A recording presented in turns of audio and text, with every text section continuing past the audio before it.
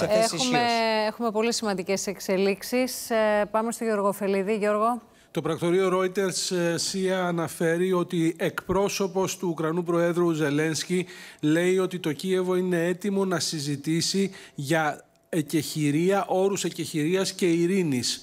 Η Ουκρανία και η Ρωσία συζητάνε, βρίσκονται σε επαφή, λέει, για το χρόνο και τον τόπο που θα ε, γίνουν αυτές οι συνομιλίες. Ε, την ίδια ώρα, άλλο τηλεγράφημα των πρακτορείων λέει ότι τα ρωσικά στρατεύματα έχουν μπει στην ε, ε, πόλη της Μελιτόπολης. Είναι λίγα χιλιόμετρα δυτικά από τη Μαριούπολη. Και τέλος, η Γαλλία θα επισπεύσει την ανάπτυξη 500 ανδρών της στη Ρουμανία, σύμφωνα με τη Γαλλική Προεδρία.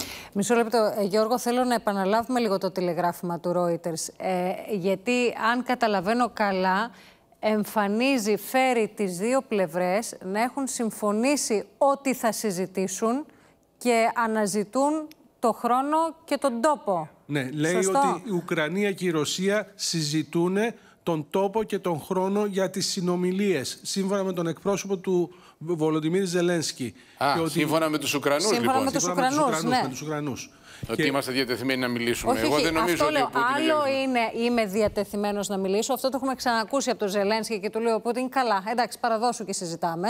Ναι. Και άλλο ότι Συζητάω έχουν έρθει σε συμφωνία οι δύο πλευρές ότι θα συζητήσουν και αναζητούν, ε, κλείνουν το ραντεβού δηλαδή. Πάντως Ναύαρχε, έχω την αίσθηση ότι η αστραπή... Για να δούμε. Ευχαριστούμε Γιώργο. Εάν ε, το Κίεβο πέσει απόψε και η, πολωνική, η Ουκρανική κυβέρνηση, γιατί λέω πολωνική δεν ξέρω, ε, και η Ουκρανική κυβέρνηση συνδικολογήσει απόψε... Μην τους αγχώνεις τώρα τους ανθρώπους, είναι που είναι.